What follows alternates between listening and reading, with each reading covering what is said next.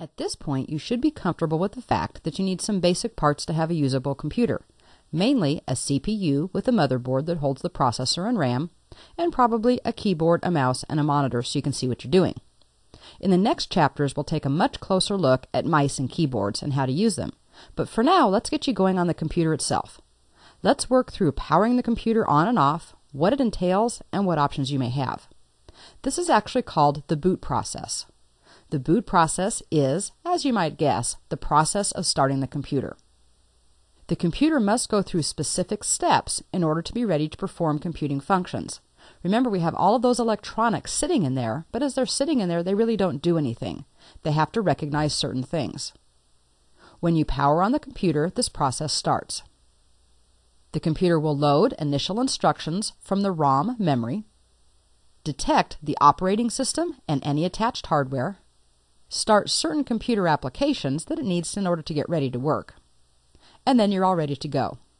Now, this, of course, is a simplified explanation of what goes on. It can be very, very detailed. But for our purposes, we can kind of narrow it down to these four things powering it on, loading initial instructions from ROM, detect the operating system and hardware, and then start certain computer applications.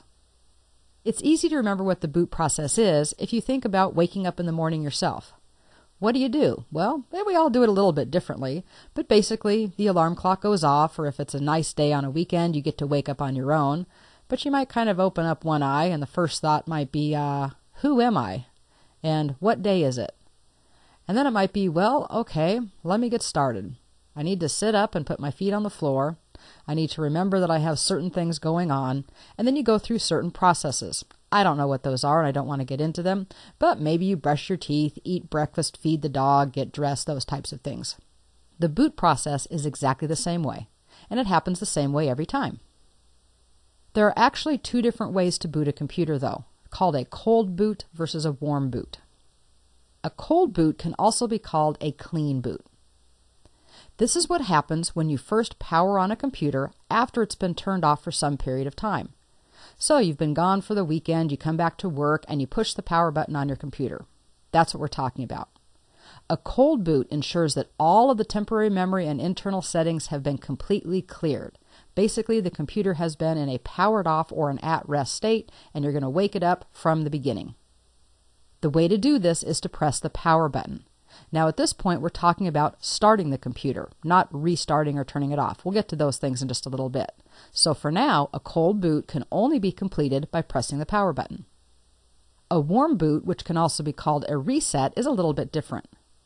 This is restarting the computer without completely turning off the power.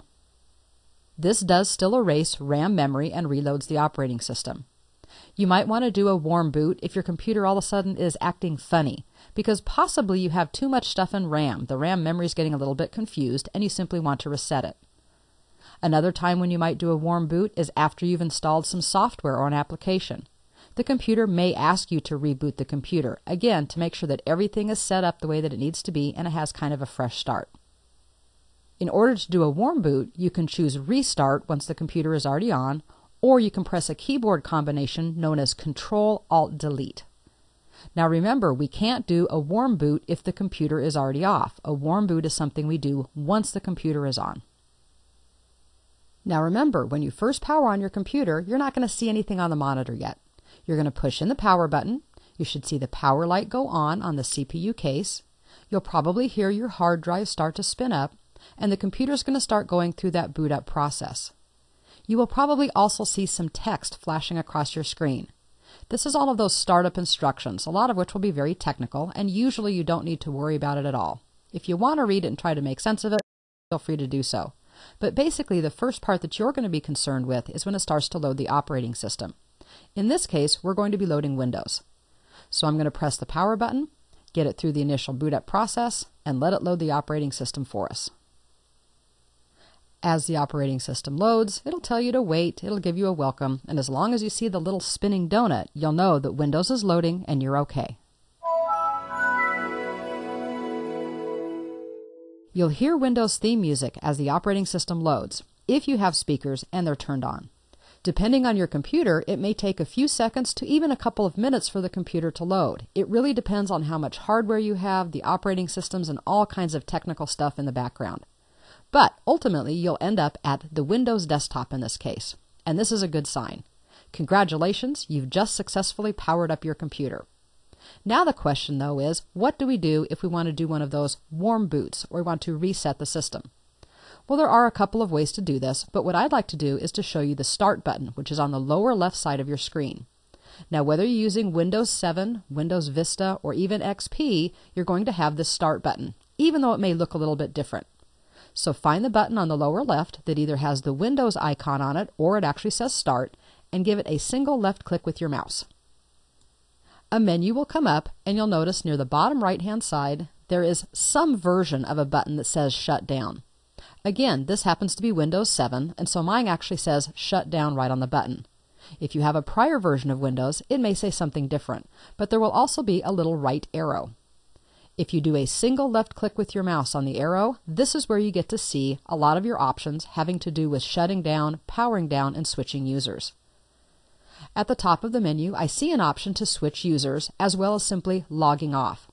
Now, these are concepts that we haven't gotten into yet. We'll talk about these when we set up user accounts as well as talking about networks.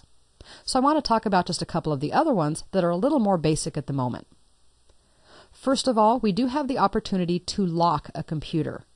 Locking a computer simply puts up a login screen so that anybody else who walks by the computer can't use your computer without permission. This is a perfect thing in a business environment, probably not necessarily in your home unless you don't want other people, like the kids, using your computer. We were talking specifically, though, about warm boots and cold boots, and this is where I can go in and actually restart the computer. If I click on this restart option, you'll see that it actually tells me closes all open programs, shuts down Windows, and then restarts Windows again. Once you click on the restart option, you're not going to have to do anything. You're just going to sit back. The computer will go through both the shutdown and the reboot process on its own. You also will see an option for making the computer go to sleep. This is an interesting thing that has more to do with power consumption. It actually saves anything you have open on the computer and puts the computer into a low power mode. When you come back and want to get to work, you can simply press your escape or your enter key on your keyboard usually, and it will come back up with all of your applications and windows back open. This is great for people who know they're not going to be working overnight, but they don't want to keep the computer completely on. If you're using a laptop, you may also see something called Hibernate. Hibernate actually is something that is between sleep and a complete shutdown. The sleep mode simply puts you into a low power state, but the computer technically is still on and using some power. Hibernate saves everything, but also completely powers down. The nice thing about both sleep and hibernate is that when you bring them back up, they resume exactly where you left off. And that's the benefit of using either one of these instead of actually shutting the computer down. We'll talk a little bit more about this when we get into using applications and multitasking. So let's take a look at a couple of these options. I'm going to go ahead and restart the computer. Remember that once I click this, the computer will shut itself off and come back up. Let's watch this process.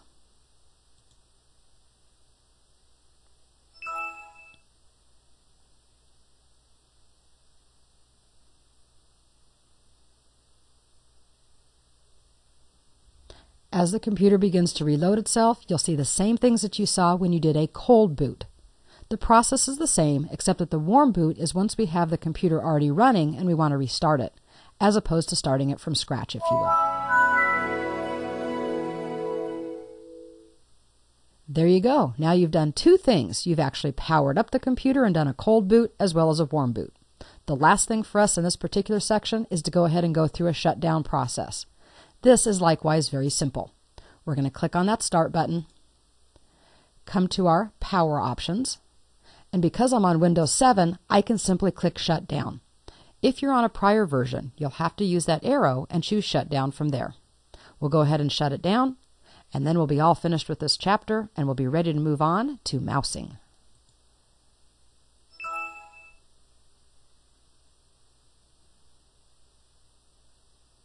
In this case, you can see, or actually maybe you can't see, that we've actually completely powered down. The monitor has gone to black, and this is when you know that the computer is completely and safely turned off. Good job!